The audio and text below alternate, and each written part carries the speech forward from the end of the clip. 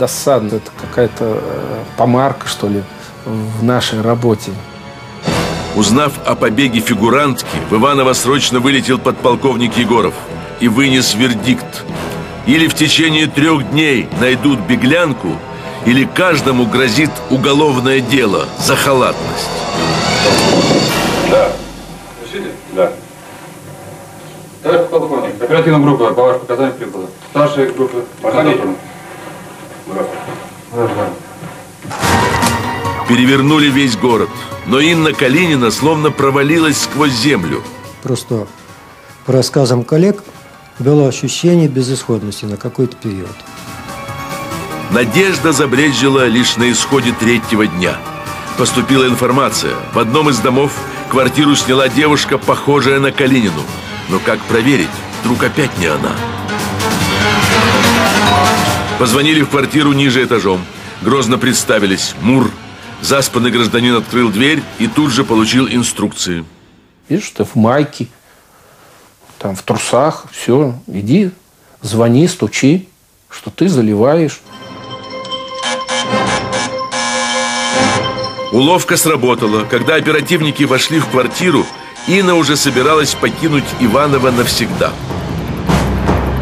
Парочку Калининых допрашивал сам заместитель начальника Мура Егоров. Доставал до ниточки, до всего. Он мог спросить все то, что ты даже иногда не, ну, просто не подготовишься к этой ситуации, не предусмотришь. Слушая омерзительные откровения Калининых, подполковник Егоров никак не мог понять, как хватало совести отнимать самое святое – ордена, чужую память о пролитой крови, о войне, о победе. В эти дни на улицах города можно было встретить съехавшихся отовсюду боевых офицеров, генералов. Георгия Никитича Холостякова Калинины увидели в газете «Вечерняя Москва». Адрес узнали в Мосгорсправке. Но сразу же поняли, обдурить вице-адмирала не получится. У того острый ум и стальная хватка. Через несколько дней явились с утра пораньше – готовые убивать.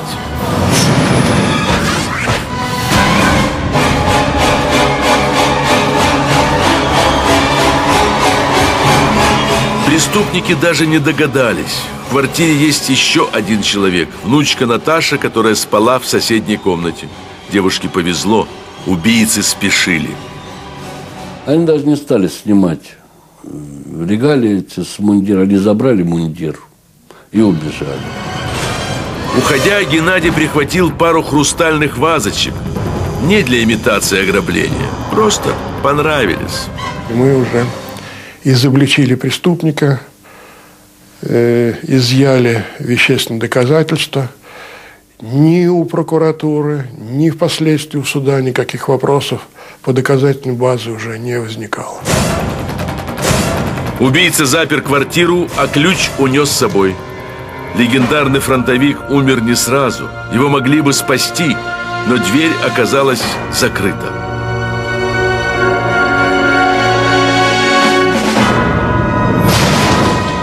Геннадий Калинин был приговорен к высшей мере наказания.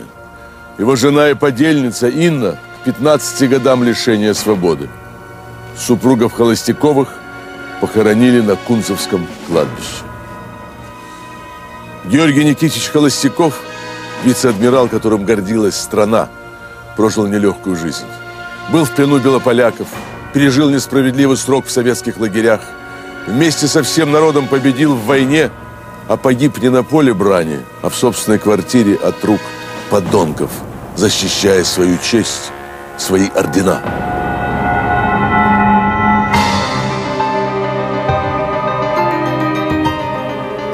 Потому что такие награды не давали просто так. Подполковник Егоров был награжден своим первым орденом Красной Звезды. Позже у Анатолия Николаевича появятся и другие заслуженные награды. Впрочем, это уже совсем другая история.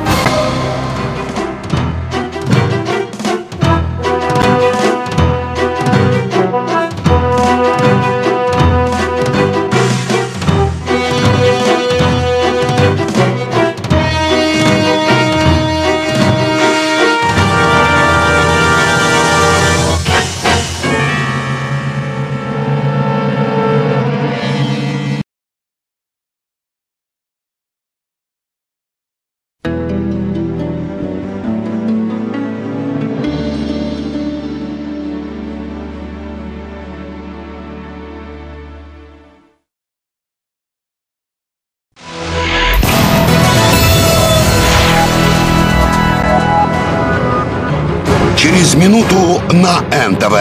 Только документы и только факты. Дело, которое потрясло страну.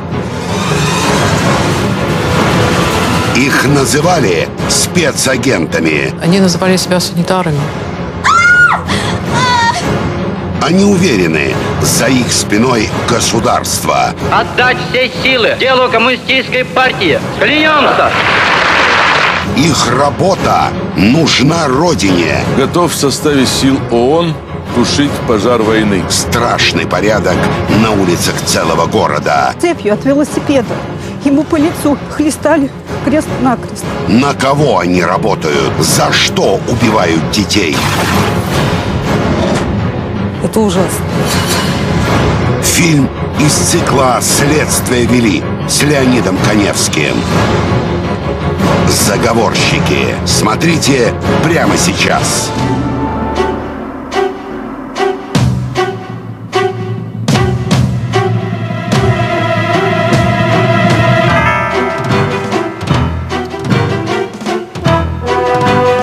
На этот раз только документы и только факты. Граждане судьи, я прошу вас смягчить мое наказание. Это история. Любым трудом искупить свою вину. Не лишайте меня жизни. Самое громкие преступления советской эпохи.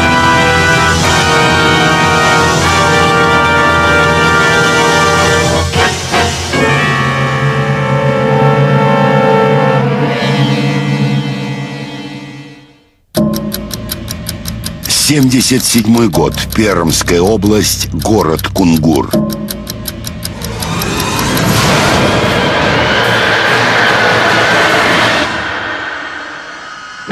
Ранним утром, недалеко от старого карьера, случайный прохожий наткнулся на обгоревшее тело. Завернутые в половики останки девочки-подростка. Запах бензина не оставлял сомнений. Произошло жестокое убийство, после которого труп попытались уничтожить. Галина Аркадьевна, в ту пору школьница Галя, одна из первых оказалась на месте жуткой находки. Я почему-то сразу же почувствовала, что это кто-то из наших. Галина Комарова в 77 году учащаяся восьмого класса. Школьница не решалась приблизиться к останкам. И тут Галя заметила деталь, которая заставила ее похолодеть. Вот тут она лежала, а я стояла вот здесь. И страшно, и жутко. И вдруг я смотрю, свитер. Это же Надин свитер. Галя первой опознала убитую. Это невозможно описать словами. Когда знаешь человека, и вдруг видишь обгоревшее тельце, которое вчера еще говорила, ходила, смеялась. Это ужасно. Погибшей оказалась восьмиклассница Надя Панова. Эксперты установили, сначала ее задушили, а затем попытались сжечь. Но перед этим жестоко изнасиловали. Тогда еще никто не знал, кошмар только начинается. Следствие соприкоснулось со страшной тайной, которая уже полтора года будоражила маленький уральский город.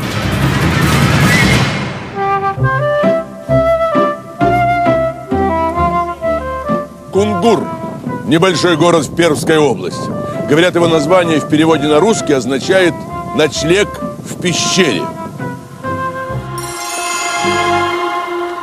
Действительно, Кунгур знаменит своей ледяной пещерой. Она шестая в мире по протяженности среди гипсовых пещер и первая в мире по красоте.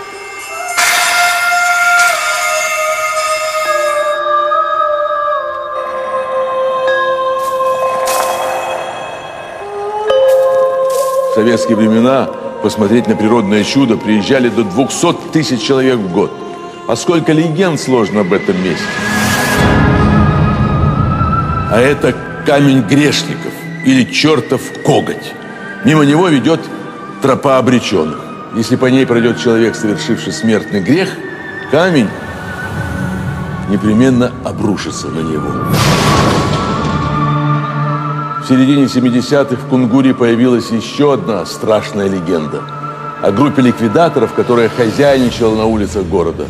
К сожалению, в основе этой легенды лежали реальные события.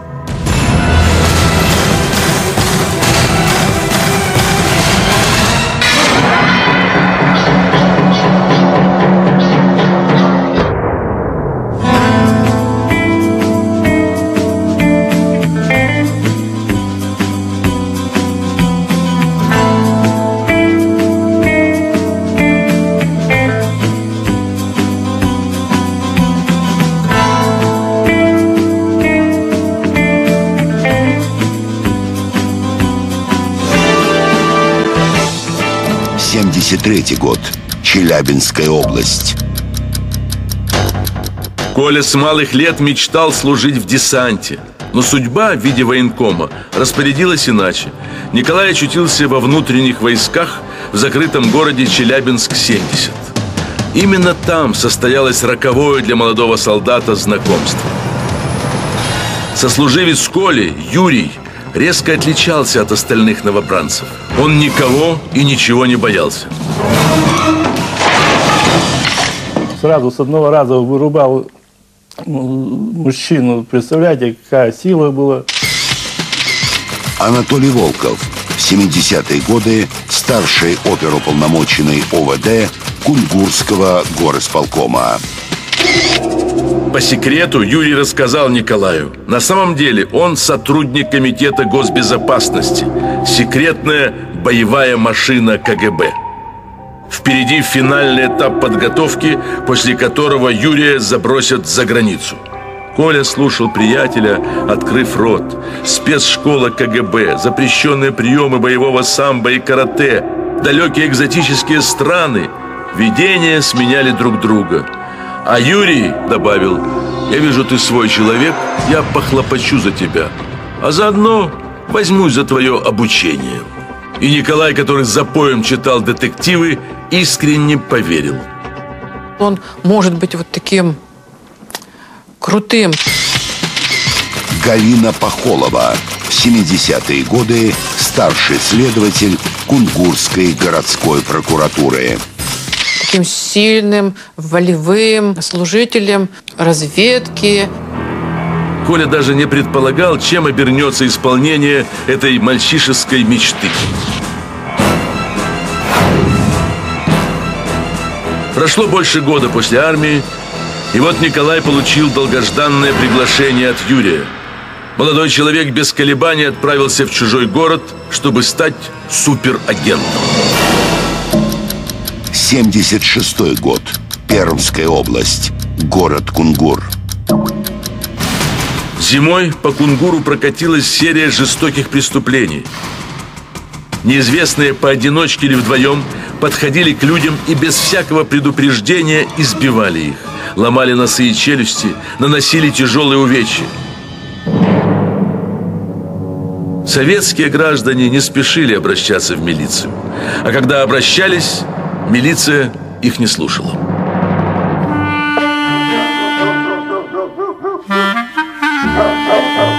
Двор. Традиционное место для прогулок детворы и распитие горячительных напитков.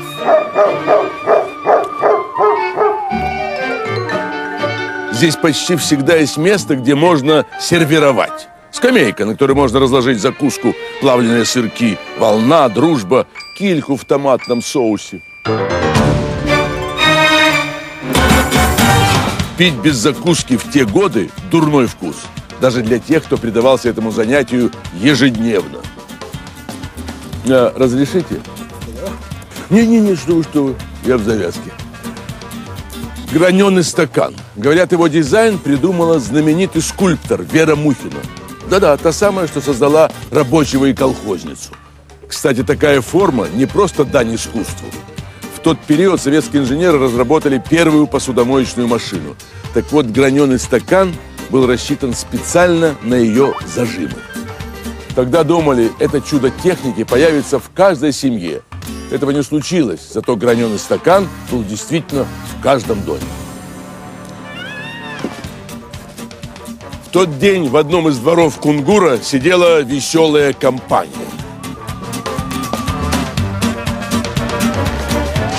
Олег, домой. Но такое веселье не может продолжаться долго.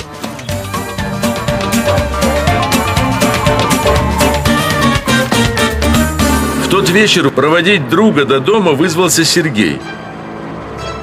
Когда он возвращался назад, то случайно задел плечом какого-то парня. Реакция последовала моментально. Сергей упал. К его обидчику подошел еще один парень. Что ты стоишь? Бей! Так он же лежит. Да это падаль, отребье, бей, говорю. Они называли себя санитарами, что они ну, уничтожают людей э, не лучших. Сергей потерял сознание. В себя он пришел уже в вытрезвители, куда его доставил милицейский наряд. Стражи правопорядка и слушать не хотели каких-то мстителях-чистильщиках. Все и так ясно. Напился и с кем-то подрался. Дело житейское. Всего за несколько месяцев 76 года в Кунгуре набралось несколько десятков подобных житейских дел. Но милиция не искала преступников. Были допущены просчеты работниками э, городского отдела внутренних дел Кунгурского. Владимир Сиземин. В 70-е годы заместитель начальника уголовного розыска УВД Пермского облисполкома. Не было своевременного реагирования э, на те обращения, которые были от граждан. Кровавый ужас на улицах города только начинался.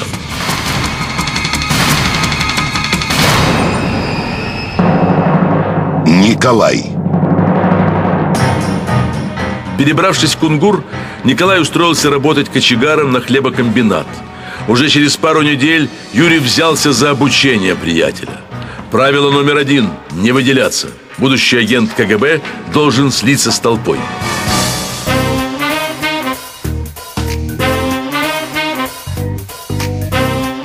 Мужская мода середины 70-х.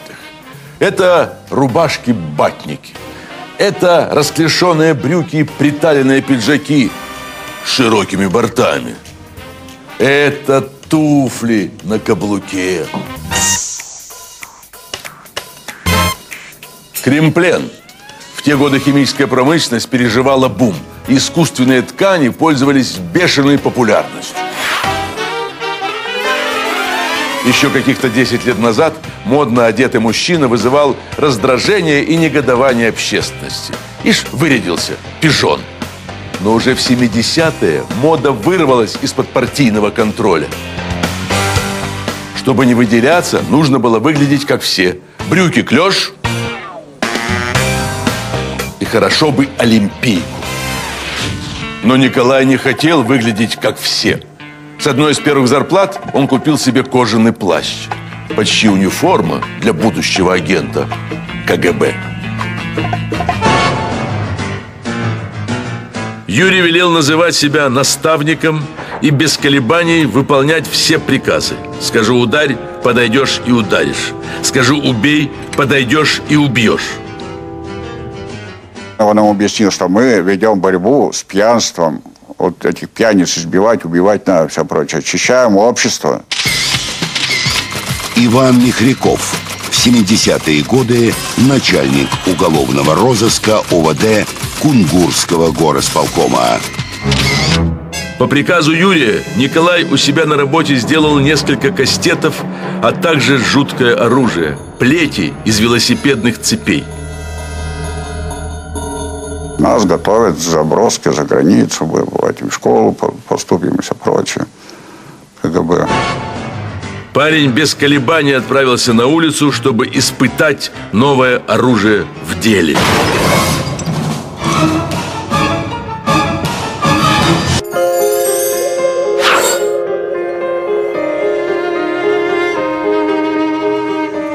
Пойти в город. Любой житель Кунгура знает – это означает отправиться в центр, в историческую часть. Здесь когда-то стоял Кремль, а теперь находится Соборная площадь.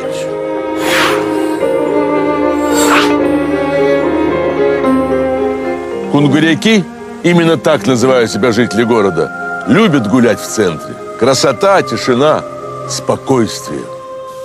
Но в 77 году люди стали побаиваться вечерних прогулок. В народе ползли слухи. Почти каждый вечер кто-то на улицах города калечит людей.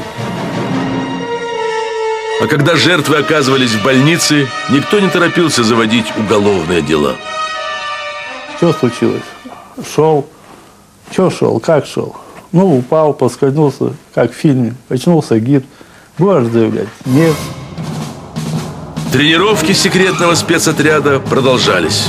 Наставник показывал, как правильно сбить человека с ног, куда нанести первый удар. Но однажды он приказал Достаточно избивать беспомощных пьяных Теперь возьмемся за более сложные задачи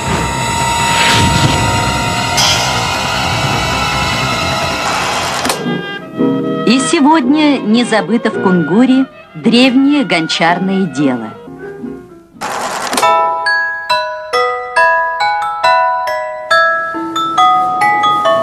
Кунгурский завод художественных изделий. Он существует с 1929 года и был основан под названием «Артель» имени 18-й партконференции. А вообще гончарный промысел существует в этих краях аж с 17 века.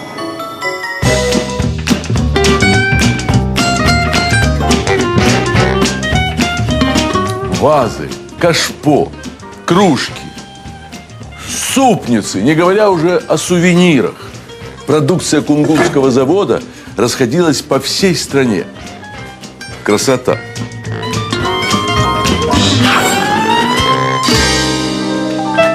Здесь работали и работают настоящие художники. В те времена их труд неплохо оплачивался. В день зарплаты и произошла очередная трагедия. Анатолий Погорелов был ветераном войны и производства. До пенсии оставалось полгода. В тот день, получив зарплату, Погорелов торопился домой. И вдруг ему на перерез шагнула какая-то фигура. Ты что делаешь? Незнакомец принялся пинать и топтать Погорелова. В последний момент перед глазами ветерана встала подзабытая картина. Фашистская сволочь. Но это был не фашист, а простой советский парень, который в тот момент был уверен, он делает правое дело, выполняет секретное задание КГБ. Тело ветерана Погорелова обнаружили только на следующий день.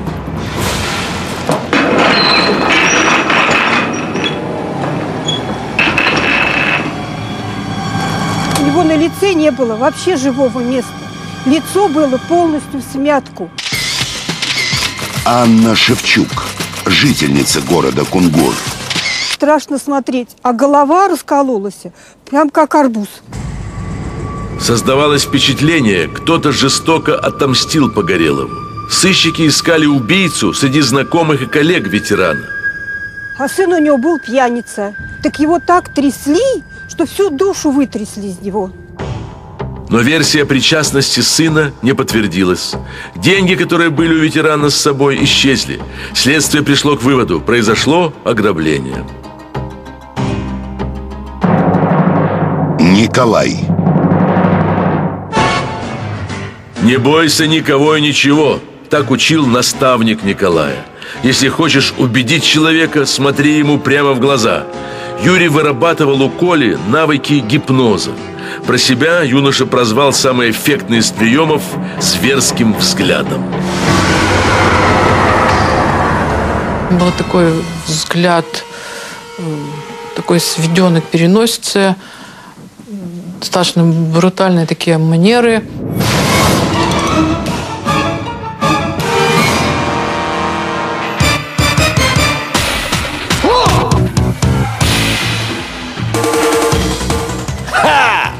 Карате. Путь пустой руки. Холодное оружие здесь не используется, но от этого приемы не становятся менее опасными. Ха! Карате. В 69-м в СССР была зарегистрирована первая школа карате. Уже через пару лет их были десятки. А в 73-м все школы прикрыли. Но изгнать восточное единоборство из страны чиновникам не удалось. Подпольные клубы росли по всей стране. Мастеров не хватало, обучались по переписанным от руки книжкам или фотокопиям. Чаще всего занятия проходили в подвалах ПТУ или техникумов. Ни о каком татами речи не было. Так, бетон или плиточный пол, в лучшем случае деревянный старый паркет. На тренировках порой случались и серьезные травмы. Юрий, наставник будущего спецагента КГБ, хорошо владел приемами запретной борьбы. Чрезвычайно жестокий, груб. Это в нем была характерная черта. Поэтому для него не было, не было никаких препятствий.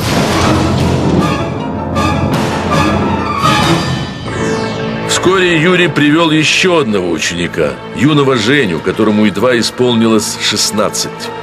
Тот смотрел на наставника влюбленными глазами и выполнял все его приказы. С электрички на ходу прыгать тренировал. Будущие разведчики учились метать ножи и даже ездить на мопедах. Парни попросту угнали их.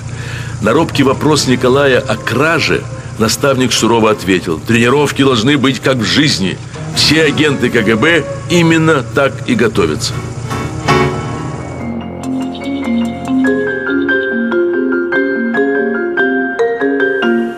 Кунгур стоит на берегах двух рек – Сылвы и Ирень. Сюда частенько приходят влюбленные посмотреть на красоту, помечтать о чем-то хорошем и добром.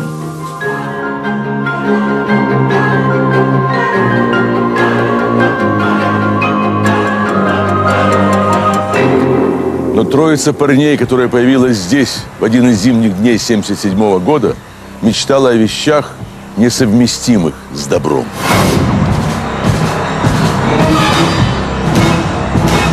Именно на этом месте все трое принесли друг другу клятву верности. За ее нарушение полагалась смерть. Юрий достал острый нож